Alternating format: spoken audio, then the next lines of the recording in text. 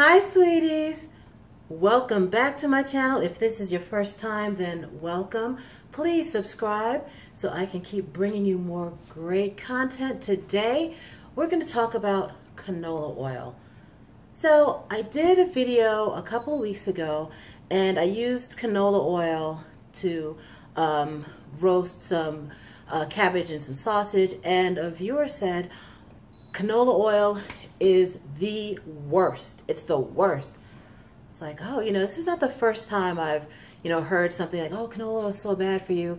But then, you know, a few weeks later, I talked to my dad and he's like, oh, canola oil is so good for you. I heard it's so good for you. It's got omega-3s in it. Okay. So what's the deal? Is it good for you or is it bad for you? Let's uh, break it down. So first of all, what is canola oil? Canola oil comes from the rapeseed plant. Um, they've changed the name to canola oil because it was developed in Canada. So can for Canada, ola uh, for oil. And honestly, of course you have to change it because who wants to buy rapeseed oil? Nobody. Um, so it's from this rapeseed plant and it produces an oil um, that is high in omega-3s. We'll get to all that later.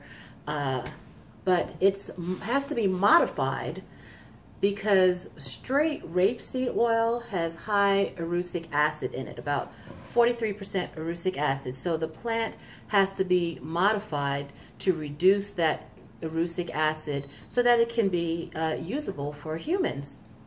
How do you reduce that erucic acid? Well, either you crossbreed it, hybridize the plant so that you can make it, uh, you know, with the trace that you want lower in erucic acid, which is how it was originally made. But now most canola oil you find um, is made with genetic modification. And that's using, you know, taking traits from one organism and inserting it into another organism. So that erucic acid is reduced in you know one of those ways. And that is part of the reason why canola oil has such a bad reputation is that a lot of people are um, opposed to using uh, GMO products. Now honestly doesn't really bother me but you know it's understandable. Maybe people just don't feel like you know it's quite safe enough for them. But that's why um, the canola oil, the rapeseed oil has to be modified. So another reason people are a little bit, you know, wary of canola oil is that it's um, chemically processed. The, the, chemical hexane is used to help um, produce lots of oil from the rapeseed seeds. Um, in many cases, not all cases, some processors expel or press or press out the oil uh, from the rapeseed plant, but most of the oil is used, um, is made by using um, the chemical hexane to uh, produce the oil. So that's another reason why people are um, maybe uncomfortable with it. So now why would some people say that it's good for you? Some people say it's good for you because it's high in omega-3s, and that's, I mean, that's provable. It's true. It's very high. It's comparable to olive oil when it comes to omega-3s. Omega-3 fatty acids and omega-3s have been, um, uh, people feel that like omega-3s help to reduce the risk of heart disease and cancer and it also is low in saturated fats and high in monounsaturated fats. Another great thing for your heart. So it has, you know, canola oil has some features that people think are negative and then some that people think are positive. So does the good outweigh the bad?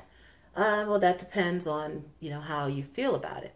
So if you are concerned about using canola oil that is genetically modified, um, like say this, this is your normal store brand or, you know, major brand canola oil. It's, you know, chemically processed or um, genetically modified. So if you are skeptical and worried about that, you can find canola oil that is non-GMO, organic, and expeller pressed. This is from Whole Foods. Um, none of this is sponsored, by the way. This is just trying to share some information. So you can find canola oil that, you know, if you're not worried about modifications, it's cheap and high in omega-3s. So it's got that heart healthy fats for you.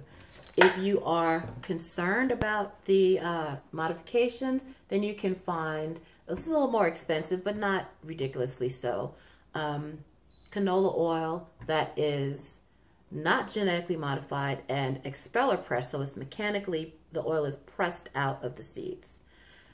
So you've got some great options. Um, and I think one of the best features is that canola oil is neutral in flavor and it's low in price. So when you're doing something like, say, frying chicken, and you need to use a significant amount of oil for that, you know, you don't want to spend, you know, $40 on oil.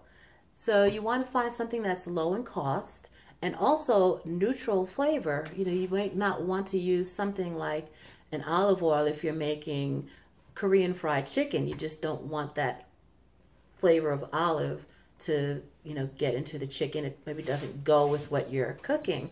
So you want something that is a neutral flavor and also affordable. So that's also on the plus side uh, for canola oil. Now if you are um, concerned if say you buy the um, the store brand or the you know big brand canola oils and you use it occasionally, you know, you can also use a variety of different oils for different um, cooking methods. If you're just using a little bit of oil to saute, then you know you use something like say grapeseed oil, which might be more expensive, but you're only using a tablespoon or two at a time. And then you know you can look for something that's you know expeller pressed or non-GMO. So you can mix and match your oils in the kitchen. You don't have to just use one thing. That's my um, tip for it. I think that, you know, my takeaway is that canola oil is good for you. Um, again, it's high in omega 3s, high in mon- monounsaturated fats, and low in saturated fats, neutral flavor, and it's affordable. I think those are all good things. If you are concerned about GMO products, like I said, you can find canola oil that is not uh, gen- genetically modified and expeller pressed. So I think that's the bottom line. And um, I hope that you will, um, that you found this information helpful. If you have, please share the video and please subscribe and have a delicious day.